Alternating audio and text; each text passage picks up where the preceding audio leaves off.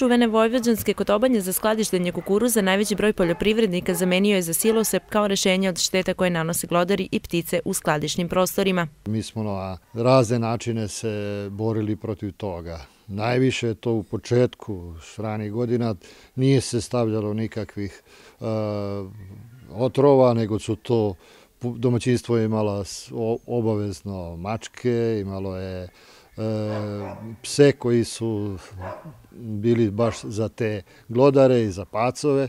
Problem je radna snaga i povećanje troškova ostavljanja kukuruza na takav način, tako da ovaj, predajemo u zrnu. Ipak ima i onih koji ne odustaju od tradicionalnog. Svoje kotobanje štite kako od glodara, tako i od ptica, a štete ne kriju mogu biti ozbiljnih razmera ako se ne preduzmu mere. Najviše pravi golubo i problema ovdje u kotobanje. Onda smo zaštitili sa, imamo mrežu ovu, što kaže iz apoteke, one zelene i tako da zaštitimo da nema da dođu do do kukuruza. Mogu veliko da naprave štetu, možda, šta ja znam, možda čak jedna četvrtina dve da pola malte ne da pojedu. Ipak ističu i korist ovog skladištenja.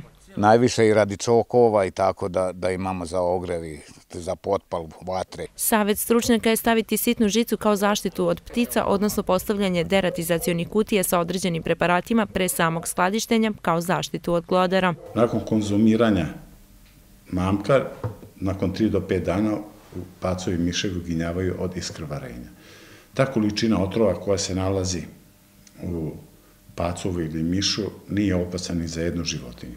Mnogo je više opasno ako, ako životinja pojede pacova, veća je opasnost od onoga što pacov nose u sebi. Zatvoriti kanalizaciju mrežom i održavanje čistoće u skladištima i stajama neke su od preventivnih mera zaštite.